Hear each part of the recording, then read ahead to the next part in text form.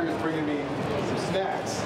It knows when I grab it, like this, and pull, In the home, I would expect Walker to be able to provide any kind of service scenario that you need, whether it's uh, perhaps doing some cleaning for you, maybe carrying heavy objects for you, even upstairs perhaps, or if you're hanging out on the couch and want Walker to bring you a, a drink, it can open up the refrigerator and do that. I should also point out that for some use cases, like say um, working with elderly in the home, there's a particularly good use because for an elderly person who may not be able to do some things on his or her own, Walker can be there to help them.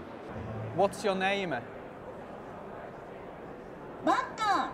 This one also has voice recognition, but its basic functionality is to be hooked up with um, a smartphone application from which uh, parents, for example, when they are uh, outside, can communicate with their children who are staying at home uh, via the robot. Do you like pizza? Robots make great pizza. We're, we're making very consistent high quality pizza. High quality pizza is great ingredients.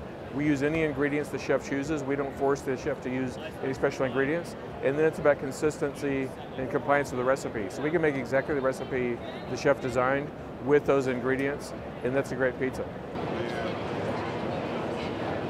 Excellent.